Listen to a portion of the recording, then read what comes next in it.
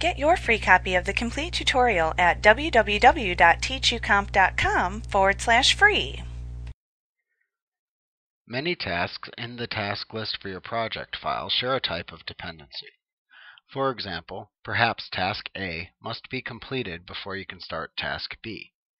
You can model this task dependency using task linking within Microsoft Project. There are four types of task links that you can create. Finish to start, start to start, finish to finish, or rarely start to finish.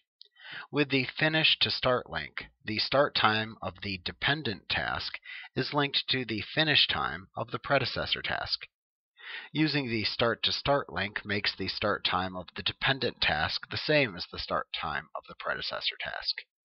Using the finish to finish link makes the end time of the dependent task the same as the end time of the predecessor task.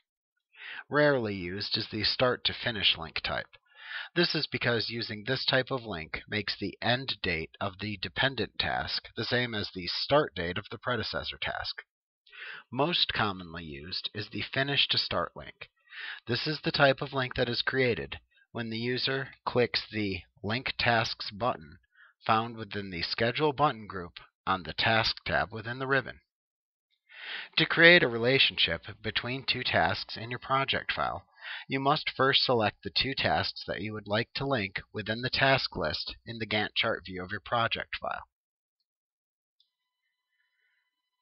You can then easily create a finish to start link between them by simply clicking the Link Tasks button that appears within the Schedule button group on the Task tab in the ribbon. Also note that if you have a listing of tasks that should be sequentially linked using the FS link type, then you can click and drag over the tasks that you wish to link within the task list and then click the Link Tasks button.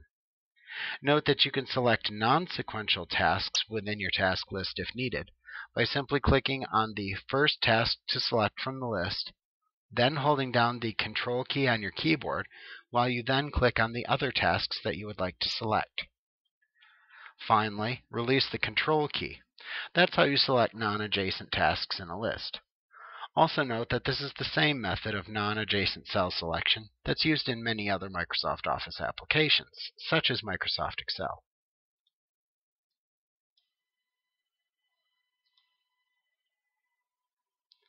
Now note that you can also unlink selected tasks from a chain of tasks.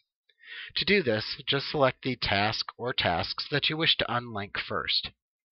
Then simply click the Unlink Tasks button within the Schedule button group on the Task tab in the ribbon. Note that if you unlink one task from a sequence of tasks, Microsoft Project will redraw the linking lines between the remaining tasks in the sequence within the Gantt chart view. Now, if you wish to change the type of link that's created between two tasks, you can select the dependent task within the relationship, and then click the Information button that appears in the Properties button group on the Task tab in the ribbon in order to open the Task Information dialog box. In this dialog box, click the Predecessors tab. Here you will see a listing of this task's predecessor tasks and the type of link that these two share.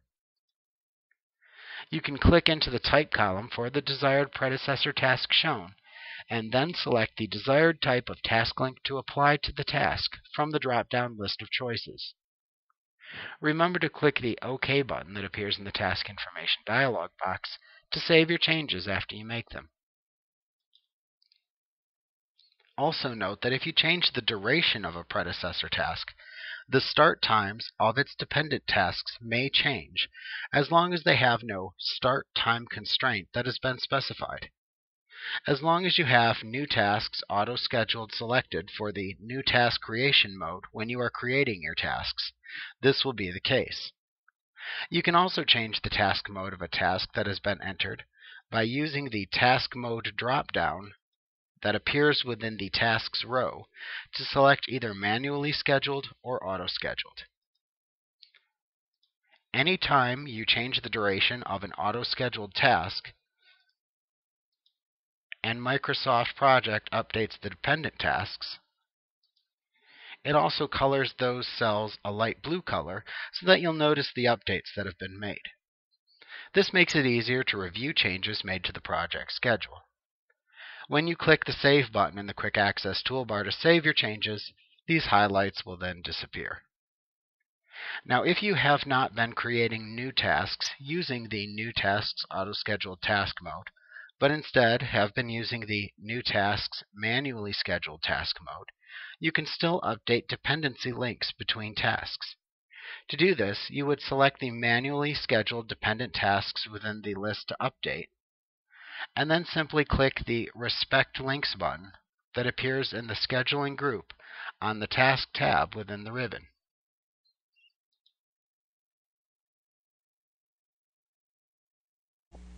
Like what you see? Pick up your free copy of the complete tutorial at www.teachucomp.com forward slash free.